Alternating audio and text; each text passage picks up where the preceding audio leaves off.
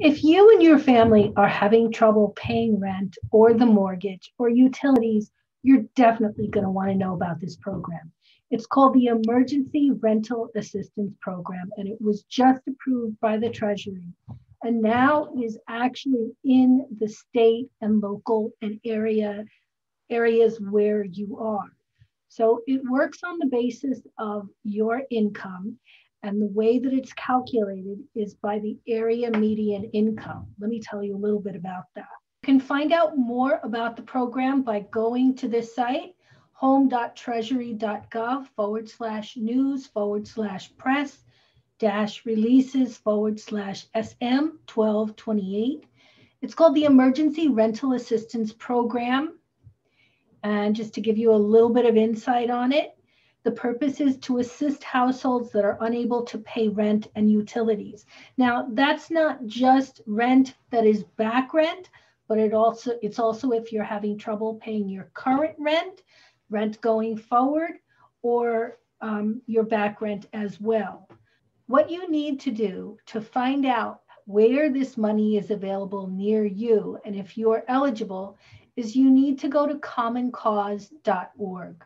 Commoncause.org will give you a listing of all of the representatives from the president on down to your local elected officials, your, your local senator, your assembly member, all of those individuals. So it goes on the basis of address, you put, you go to find your representatives, you put in an address. It's an old address of mine. This is for New York. This shows all the elected officials. What I want you to do is after you have this information, take note of your senator. So my senator is Charles Schumer.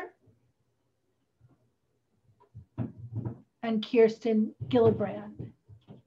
What you need to do is you need to call these people. You need to call your local senators so that they can tell you the local housing organization that is in charge that has the monies available for the emergency rental assistance program. Now, it's really important that you not take no for an answer. You definitely want to find out where is the emergency rental assistance program in your area? Where, what program, through which program is it going to be dispersed? These people, your senators, will know. So once your senator gives you information and tells you, okay, it's going to be at this housing program, it's going to be at this uh, location or website, you need to follow up and make a call. Calling is the most important thing that you can do because by calling your local elected officials, you are coming out of the woodwork. You're making yourself real. You're putting your problems and your issues and your challenges up front where it's undeniable and impossible to ignore you.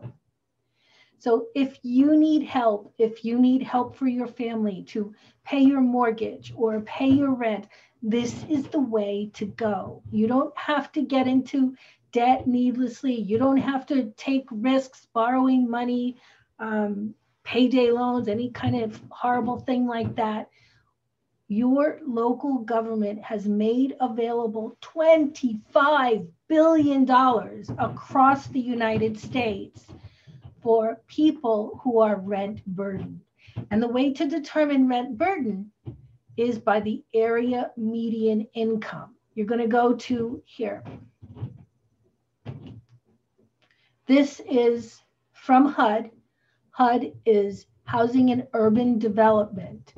And this gives the national overall average showing what the area median income is. So let's say a four person household is $68,000. So if you're earning less than $68,000 and you're four people, or full would be $61,200. If you're one individual living in a household, it's $47,600. Now that is for the national average. What you need to do is you need to go and find the specific average median income for your county. So let's take a look so that you can get an idea of discrepancies. Here is San Francisco, which is, has a very high cost of living. So 80% of median income, if you're a one person household and you earn less than $71,700, you are eligible to receive public assistance. If you're three people, $92,250, amounts that we would never ever associate with um, eligibility for public assistance. But because of COVID, the limits have changed. So find out if your family is eligible and do the necessary work. Make those phone calls. You've got to do it. And if you haven't already joined my a Grants Made Easy Facebook group, come and join. I'll answer any questions that I can. And inside, I set it up as a learning environment.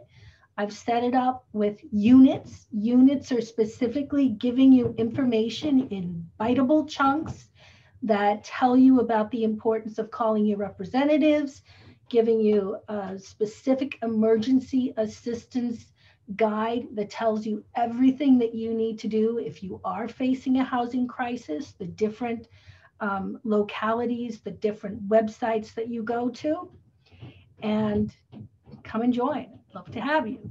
Okay, have a great day. Bye.